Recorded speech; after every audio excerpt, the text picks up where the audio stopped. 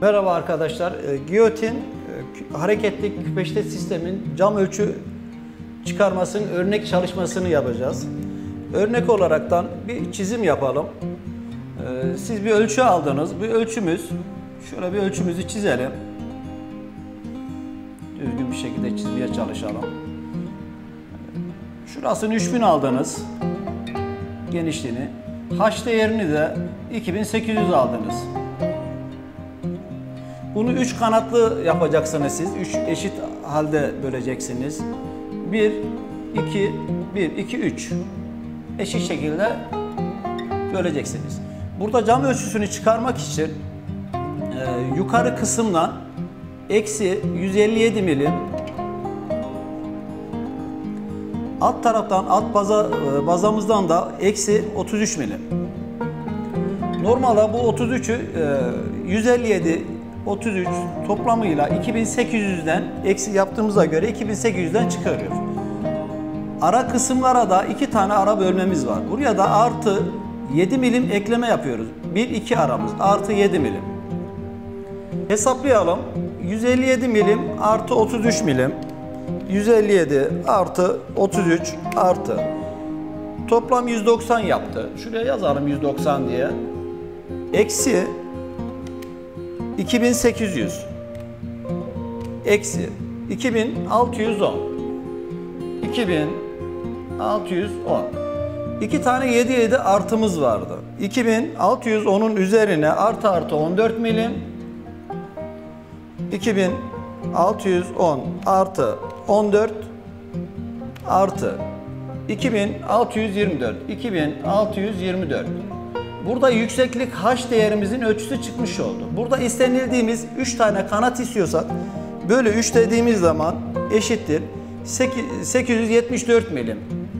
Bölü 3 diyelim. 874 milim. Camımızın camımızın yükseklik değeri çıkmış oldu. Şimdi burada genişlik kısmına gelelim. 3000 olan yere gelelim. 65 milim 65 milim sağdan soldan 65 milim eksi eksi sağdan ve soldan yazıyoruz.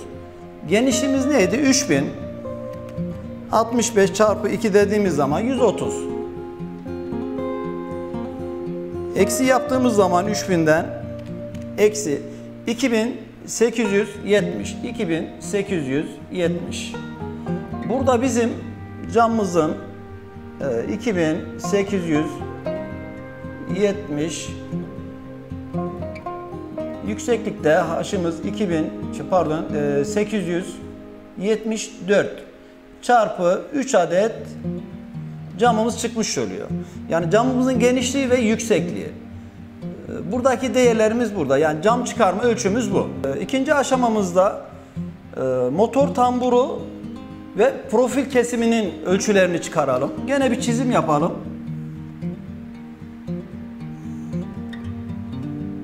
Burayı gene 3000 diyeceğiz. H değerimiz de 2800. Şimdi motor tambur kesimimizde e, şöyle bir işaret yaparsak e, toplam 104 milim 52 milim soldan 52 milim sağdan. Yani toplam 104 milim 104 milim yaptığımız zaman hesap makinemizi alalım. 3000 eksi 104 eksi dediğimiz zaman 2896. Bu da motor tamburumuzun motor tamburun ölçüsü. Yani 2896 kestiğimizde buraya taktığımız motorun tamburun ölçüsü çıkmış oluyor. Bunu bunu da silelim. Şu yazılarımızı silelim sadece. Her hepsini almamıza gerek yok. Şunları alalım. Şimdi profil kesim ölçülerine alalım. Şurayı gene haşımızı yapalım. Üst profil kesim ölçülerine geçelim. Soldan 60 milim, sağdan 60 milim. Üst profil kesim ölçüsü. 60-60, 120. 120 hesap makinesini alalım gene. 3000 eksi 120 dediğimiz zaman eksi 2880. Bu da üst profil ölçümüz çıkmış oluyor. Bu aşamada tamam Burayı tekrar silelim. Yani üst taraf üst tarafa bağladığımız profilin ölçüsü çıkmış oluyor.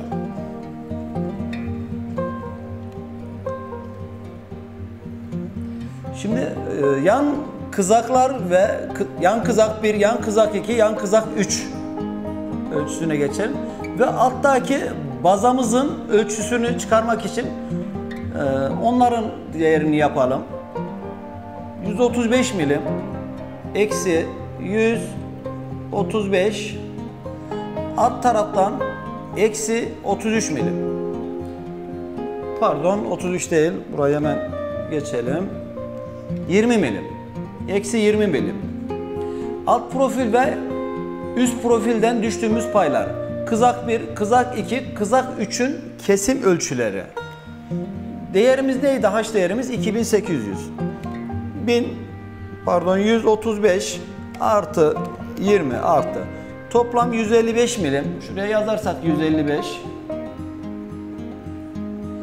eksi 2800 eksi 2645 2645 bu kızak 1 kızak 2 kızak 3'ün değer ölçüleri. Sağ ve sola takacağımız kızak 1 kızak 2 kızak 3 sol ve sağ kaçar tane gitmesi gerekiyorsa ona göre e, 2645 şekilde değerleri bulmuş oluyoruz. Burayı e, da silelim. Alt profil ölçüsünü çıkartalım. Şu değerlerimiz kalsın. Şuraya gene aşımızı yazalım. Alt profil ölçüsü.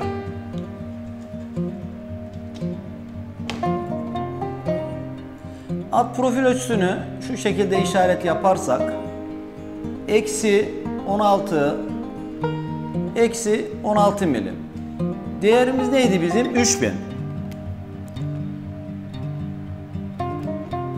16 çarpı 2 dersek 32. Eksi 3000 dersek eksi. Hemen altına yazalım şöyle 32.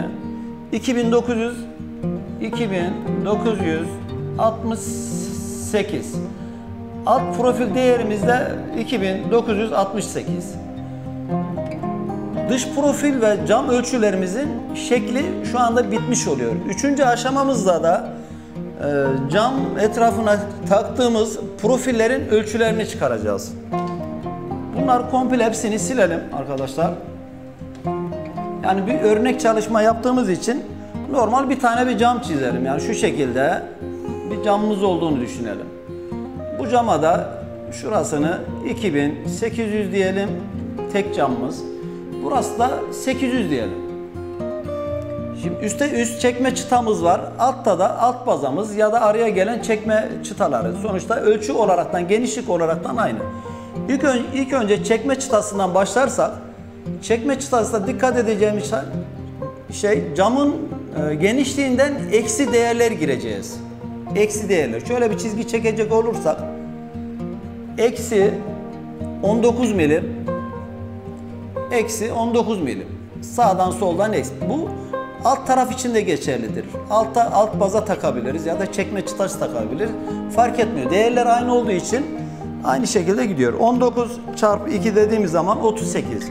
Eksi 2800 camımızın genişliği neydi? 2800. Eksi 2800 yaptığımızda 38'i yazalım şuraya. Eksi dediğimizde 2762. Çekme çıtasımızın değeri de 2762. Kaç tane kesmemiz gerekiyorsa bu şekilde keseceğiz. Çekme çıtasını geçelim. Şu değerlerimizi silelim.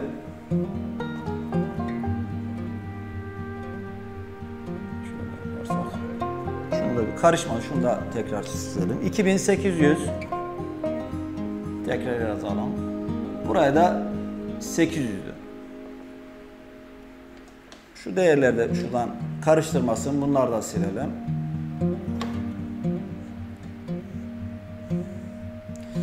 Şimdi Yan baza değerlerimizde e, çekme çıtasının tam tersi artı ekleme yapacağız.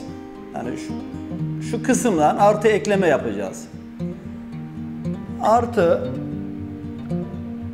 13 milim artı 13 milim.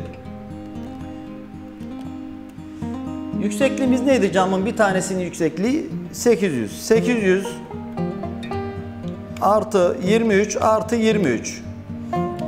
Öbür formülden gidelim gene 13 çarpı 2 dediğimiz zaman çarpı 26 milim yazalım şuraya. Bunların toplamını artı 800 yapalım artı 826 milim. 800 pardon 826 milim çarpı kaç tane kesmemiz gerekiyorsa yan baza değerimizde 826 milim. Bu şekilde yan baza ve cam e, profilleri de ölçüleri çıkmış oluyor. Bu kısımda arkadaşlar e, üst motor kapağı ve küpeştenin e, profil kesim ölçüsünü çıkaralım. Tekrar gene bir resim çizelim. Normal bir ölçümüzü çizelim. Haşımız gene 2800 olsun. Altta 3000 olsun gene. Üst motor e, kapağının ölçüleri. Eksi soldan 5 milim. Eksi sağdan 5 milim. Hesap makinesiyle yapalım. Alıştık. 5 artı 5 artı 10 milim. Eksi 3000. Eksi 3000 eksi 10 eşittir 2990. Bu üst profil e, motor kısmının tambur tambur e, taktığımız kısmın kapağı 2990. 3'e böldüğümüz camların üstüne gelen küpeşte profilin ölçüsünü çıkartalım. Şu değerlerimizi silelim.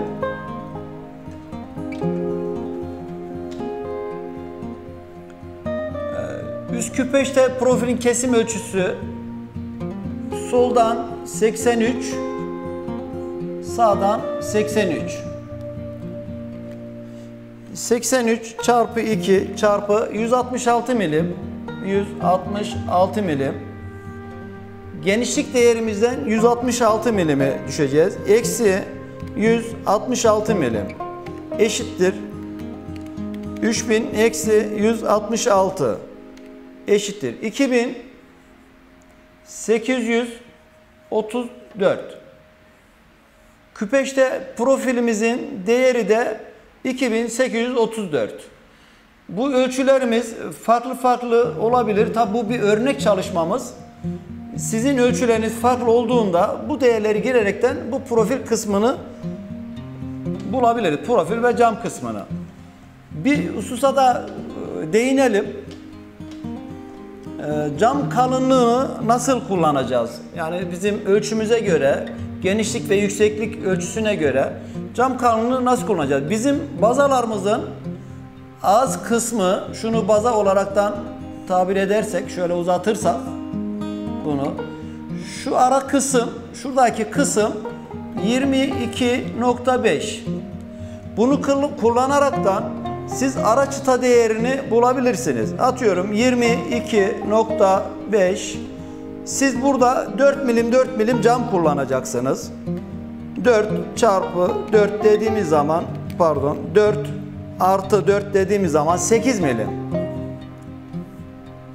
Burada eksi değeri kullanacağız. Burada camın arasındaki çıta değerini bulmak için 22.5 eksi 4 dediğimiz zaman 22.5 eksi 8 milim pardon eşittir 14.5 ara çıta değeri bu şekilde çıkıyor. Bu tabi 14.5 olmak şartında değil 14 olabilir. Şu buçuk silebiliriz o kadar sıkıntı yapmaz bize. 14 çıkabilir. Buradaki değerimiz e, siz camı 5 kullanacaksınız. 5 kullanacaksanız 8'i siliyoruz. Beşlik cam kullanacaksınız. Biraz daha kalın olmasını istiyorsunuz. 10 milim. Şunu da siliyoruz.